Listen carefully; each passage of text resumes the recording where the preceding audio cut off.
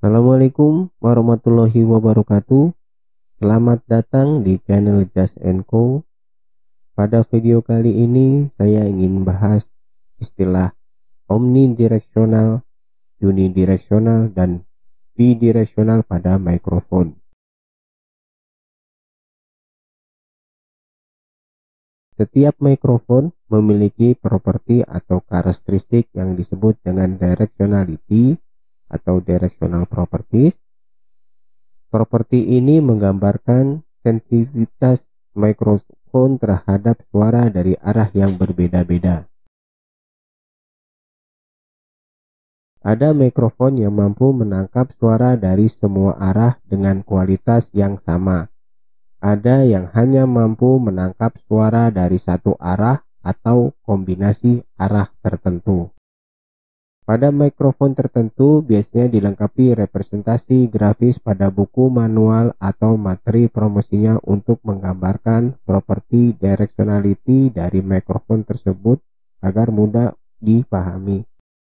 Representasi grafis ini disebut dengan polar pattern. Ada tiga jenis directional properties. Yang pertama ada omnidirectional yang mampu menangkap dari semua arah Lalu ada unidirectional yang mampu menangkap suara dari arah tertentu. Yang ketiga ada bidirectional yang mampu menangkap suara dari dua arah. Sekarang kita bahas satu persatu. Untuk pertama ini omnidirectional, yaitu mempunyai kemampuan untuk menangkap suara dengan kualitas yang sama dari semua arah.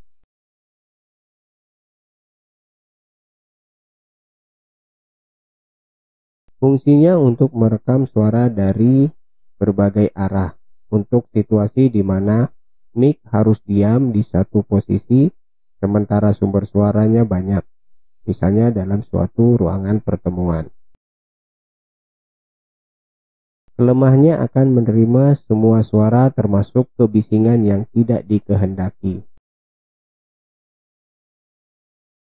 Yang kedua ada unidirectional unidirectional ada dua tipe. Yang pertama ada cardioid. Cardioid ini berarti berbentuk hati. Ini mempunyai kemampuan untuk menangkap suara lebih dominan dari salah satu arah. Suara yang ditangkap kebanyakan dari arah depan dan sedikit area di bagian samping. Keunggulannya mengutamakan suara dari arah di mana mic diarahkan namun masih tersedia area untuk pergerakan mic dan kebisingan. Mic tipe kardioid sangat fleksibel dan ideal untuk pemakaian umum. Kebanyakan mic genggam bersifat kardioid. Yang kedua dari tipe unidirectional yaitu hypercardioid yang merupakan versi berlebihan dari pola kardioid. Sangat terarah dan menghilangkan sebagian besar suara dari samping dan belakang. Karena desain hypercardioid yang tipis dan panjang, mikrofon tipe ini sering disebut dengan mikrofon shotgun.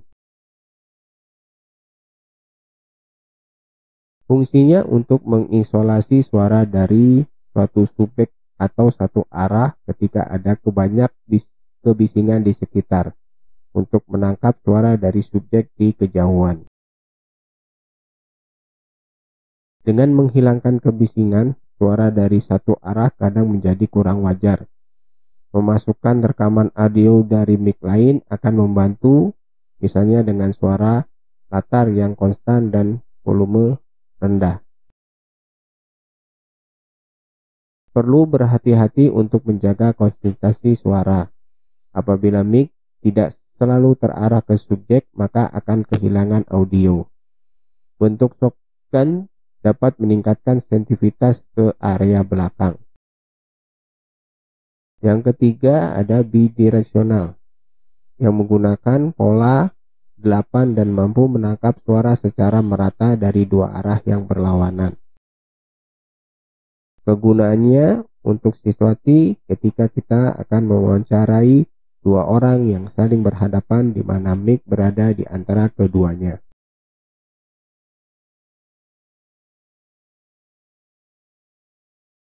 Lalu ada variable directionality, yaitu beberapa mikrofon yang memberikan beberapa pilihan directionality di mana dapat memilih dapat menggunakan pola omni, cardioid, atau shotgun. Biasanya fitur seperti ini bisa ditemukan pada mikrofon kamera video. Tujuannya agar dapat menyesuaikan directionality mengikuti sudut dan arah zoom. Meskipun fitur ini tampak sangat berguna, biasanya mikrofon dengan fitur variabel zoom tidak mampu bekerja dengan baik dan sering menimbulkan suara ketika melakukan booming. Menggunakan beberapa buah mic yang berbeda biasanya akan memberikan hasil yang jauh lebih baik. Semoga video ini bisa bermanfaat. Wassalamualaikum warahmatullahi wabarakatuh. Jika Anda nilai video ini bermanfaat, silakan klik subscribe, like, dan share agar tidak ketinggalan video bermanfaat lainnya. Terima kasih.